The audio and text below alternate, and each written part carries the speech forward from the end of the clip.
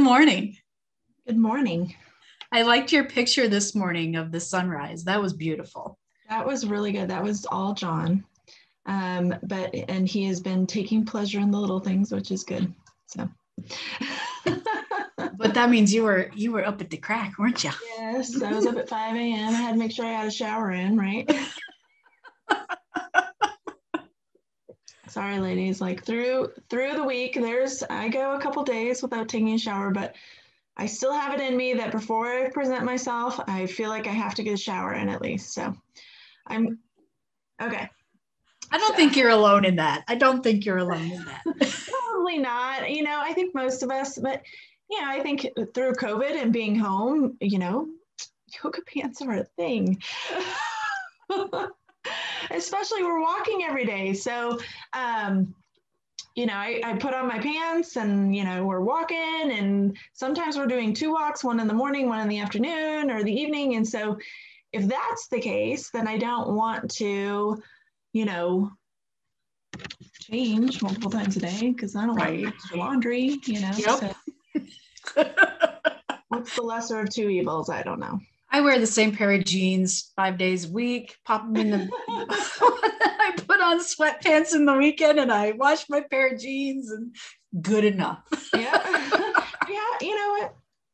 I'm all about, you know, the times to dress up. And boy, do I miss going to the office though at the same time because I really want to put on my nice work clothes and my heels. And I love that too. Yeah. And, you know, my jewelry, you know, and stuff like that. So I miss all of my my fun jewelry that I would match with my outfits and all that fun stuff. But you know what? I put on heels the other day because I was like, I'm going to dress up today, right? And I put on my heels and my hips hurt so much by the end of the day. I was like, why am I doing this? We're going to have to start when we go back to the office. We're going to have to start in flats and then work our way up and get a little bit taller, a little bit taller. Yeah. Oh, speaking of taller, I, I need to get one of those like posture things that like makes you sit up straight. So I have a few things today. Um, so one of the things I wanted to talk about was wrinkles. It's my least favorite subject. I know, but necessary. And here's why I want to bring it up: not your wrinkle, not your crow's feet, not the wrinkles we all expect. Tell me a wrinkle you did not expect as you got older. Well, I have a so in my makeup classes in college, right? We we would do theater makeup, and so you had to like figure out where you were going to age, so that you could age yourself and it would look realistic on stage, right? Because so if you like, this is why I'm really good at making ridiculous faces because I, I had to. But if you like, you know, scrunched up certain parts of your face, you were going to see where the. I'll tell you where what I didn't expect and this is a little TMI, ladies, but we're all in the same boat. I did not expect for my vaginal lips to get wrinkly. Right? I don't. What is that? That's I don't know. And uh, you know, so Danielle and I did a did a COVID safe um, visit to a, a, female doctor here in town recently who's going to be oh i have her book right here so um, she's going to be joining us for um, Ask an Expert um, in a video soon. So watch for that. Her name is Dr. Ariana Scholes Douglas.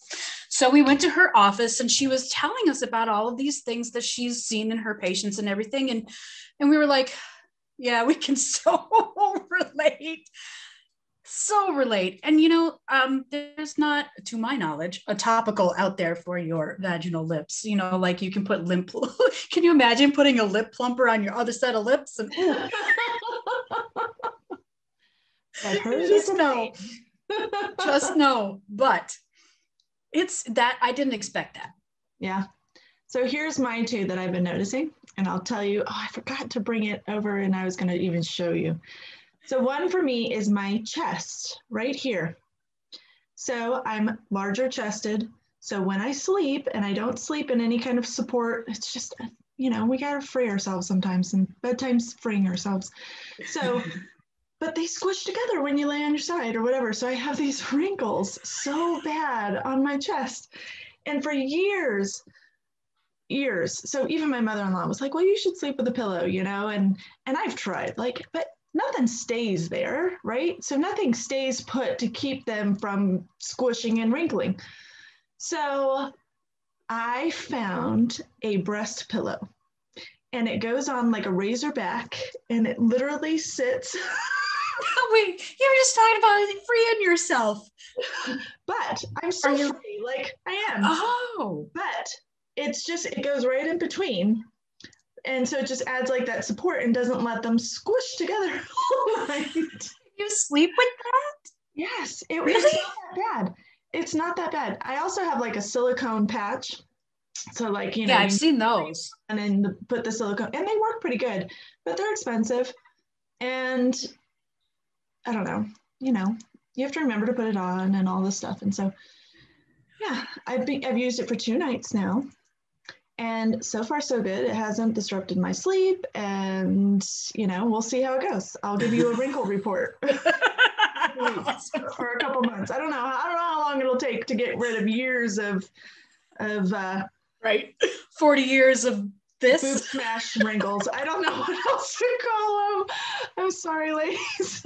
Boob smash wrinkles. That should boob be a hashtag so then I was doing my makeup this morning, and here's my other one that I didn't go through theater school, so I did not think about how my face was going to age and wrinkle as I got older. In fact, I should have you like look at me and analyze me. but so I have dimples, right? Yeah, I love your dimples. I know, but now they have wrinkles, like smile lines. They have wrinkles, ladies. I was not expecting that one. I don't know why. I should have thought of it. It's just like a, a smile line, right? I guess because they're yeah. there when you smile. So I don't know, but I yeah, I have a wrinkle that goes like through my dimple. You know. I have one right here because I have such a prominent chin, right? My chin, and so I don't know what causes it, but right here. Yeah. I oh, started I getting it. one right here. John noticed it before I did. and he's been telling me about this one. He's like, you know, you got a wrinkle right there. Thanks, honey.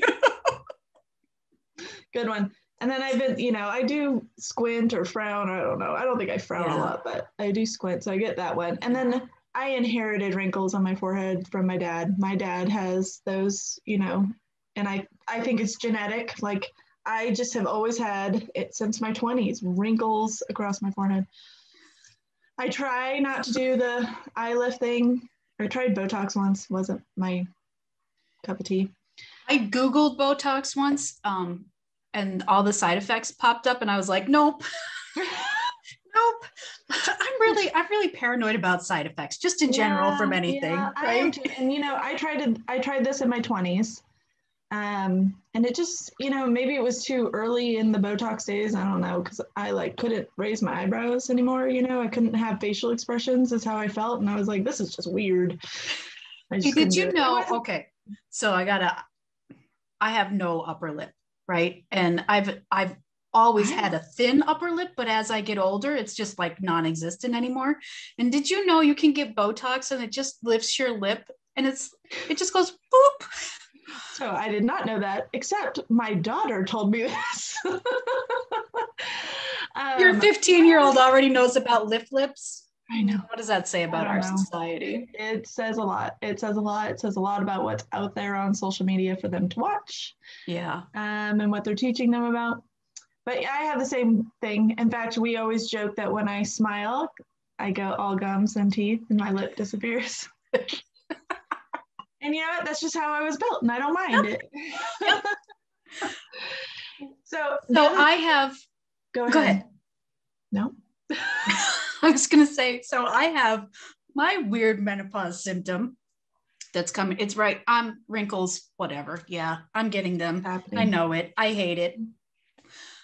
Here's the thing. I okay. So I'm sitting at my desk working away and suddenly, and this happened a couple of weeks ago, and it's been happening off and on since then. My big toe, it feels like somebody took a, a needle and charged it with an electric charge and stuck it in my big toe. And they pulled it out and they stuck it in again. and it happens like three or four times and then it stops. and it's nerve really well that's what i thought but then i was like so when we first started researching the kinds of symptoms that women could have i remember coming across things in forums like women talking about electric shock mm-hmm. they feel like their extremities are being shocked and i was like i don't, what does that mean well now i know what it means and it sucks i don't know i don't know what you do to combat them uh, I mm-hmm. don't know what causes them. I got to go down the rabbit hole and figure that out because it's driving me nuts. Yeah. And I wonder wow. if it had something to do with the fact that I put heels on because I was going to dress up, right? or if it's just because I haven't noticed it really happening in my hands, hmm. just in my feet, mostly in my feet, and and specifically my big toe on my right foot. But it's hmm. happened. It's happened like across the board on my toes now. So but I'm going to go down the rabbit hole on research for this because I don't know what's causing it and it's and it needs to be looked into. So maybe that's one of the things I'll talk to Dr. Ariana about. Ooh, maybe she'll know. She's women's health. I don't know if she'll know all those kinds of symptoms. That'd be interesting yeah. to know. Well, and we got a whole, I got a, oh, I have so many questions I want to ask her. So, you know, I'll save my personal questions. Series. I'm excited about that conversation. I'm excited to do that interview. Me too. She is, she's a lot of fun. I think you guys are going to really like watching her and listening to her. And she's yes. just so relatable. And I want that in a female doctor, right? Yes. I don't, I don't want you to come on and be like, I mean, I love expertise, don't get me wrong. Um, but I want someone who has expertise, who is relatable and understands what I'm going through. And man, she is it. Yeah, and not even just relatable. I mean, she's real. I mean, yeah. she will, she's, you know, very straightforward and she'll tell you like it is. And I love that about her. So um, I'm excited for her to come on. All Me right, too. So it's Valentine's Day. And I know, ladies, you're probably going to see this in a week and Valentine's is going to pass. But here's what I want to say that I hope that you took some time to love yourself and love yourself in so many ways. Um, whether it's just reflecting and realizing your characteristics and the beauty that you have within you because you are beautiful. Um, even though sometimes we're harsh on ourselves, we're harshest on ourselves. You know, when everyone else looks at us, they see a beautiful person, and you should see a beautiful person. And so I wanted to talk about what, and I have my little love cup today. um, I did in celebration of Valentine's Day. I love the holidays, but um, I was thinking about it and I was like, you know what? Outside of, yeah, it's Valentine's Day, sometimes we get stuck on, okay, well, I don't have a partner, or, you know, even, you know, I think about as I go through a holiday like this where it's so focused on outside love so love with another person that I think about all the women that have had struggles through midlife, through menopause, uh, with the relationships, and um, and I know that there's a lot of women out there that feel alone. Um, you know, and as a holiday like this approaches, they feel alone. Whether it's alone in dealing with their menopause and they actually do have a spouse, or they feel alone because maybe their marriage just or relationship just fell apart because you know, of the changes they went through in menopause. Maybe that was just naturally going to happen anyways. Um, Dr. Ariana Scholes has some great stories about, you know, her transition into menopause and how that affected her relationship. And it just affects your mind, ladies, and it affects, you know, your mood. And we don't see it. You know, we talked about that a little bit last time. Yeah. And so I want to remind you, ladies, even if it's after Valentine's Day, to love yourself to take a moment and really realize that you're precious and that you're special and to remember to love you to love yourself. And you know remember that sometimes us as women we put everyone else first. I know i do that as a mother as a wife you know everybody else comes first. Um, remember to put yourself first a couple times you know? Take a walk just by yourself, listen to the music you want to listen to, get yourself revved up, you know, take a bubble bath by yourself and just relish in it. You know, maybe it's, I was thinking about what am I going to do for myself this weekend? And for me, it was, I think I'm going to do a bath, which is a rarity for me. Um, but I was also thinking, like, oh, I'm going to do like a hair treatment. I'm going to put some oil in my hair and those things that you never take the time to do on a regular basis. At least I don't. I'm busy, you know, um, kids, with work, with everything else, and life just catches up, and you feel like you just don't have time to do that kind of stuff. And so I like doing that that kind of stuff sometimes too. And um, and I love doing home treatments. So I'm gonna put some oil in my hair and there for an hour or two, and then shower or do a bath, and uh, maybe read a book. I was g- gonna pick up uh, Dr. Ariana's book. Um, I've started reading it. It's really good um, and I'm hoping I can finish it this weekend. Um, and just take a little time for myself. The other thing I was thinking of, I always wear my hair down. Ladies, you will see all my pictures. It's always straightened down. It's just my style. Like I get stuck in a rut. Um, and I was thinking, you know, I might try a few new hairstyles this weekend and see if I can find something new and fun that I like. And so maybe on a video coming up, you'll see me with a different hairstyle. Ooh, okay. I want you to send me pictures though. Okay. As you try them out, because you're going to be your own harshest critic, and you're going to be like, I don't like the way this, and it's actually going to be beautiful. Make sure you send them to me. Okay. okay, I will. All right. So, what are you doing? And if you haven't thought about it yet, thinking about it now, what are you going to do? Uh, so that's a really good question because I haven't thought about it. I, as you said, thought about everybody else first. So I have a little Valentine's Day gift. We know in, in our family, we don't do a lot. Um, right. We tell each other we love each other every day. And it's, you know, expressing love is not, um, not held off for one day. Like mm-hmm. a, some, you know, I knew some folks growing up who were like that. Their families were like that. That's just how they were. That's never been, you know, uh, the way I was raised or or the way that I raised my child. but so I have little gifts tucked away in my closet. Um, I have no idea what I'm going to do for myself. This is, this is, a good point. I don't know. Yeah. I haven't thought about it at all. Um, but you know what? Just as Vanessa uh, hasn't thought about it, ladies, think about it. All yeah, right. absolutely. And that's probably a good place to end today.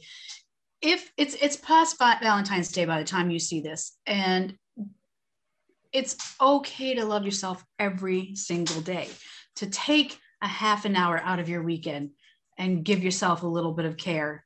That it's okay to do that. I think this is a really good message. Danielle, you can see why I love her so much because because she's always always right on the money with her advice. I'm gonna cry. I'm gonna cry. always right on the money with her advice and what she and what she tells you um, as a friend. So, you know, listen to Danielle. I do. Love you. Love you too. too. So take some time for yourself this weekend.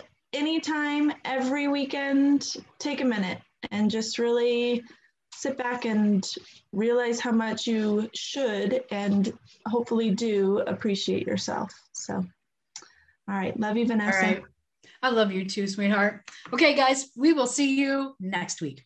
Bye bye.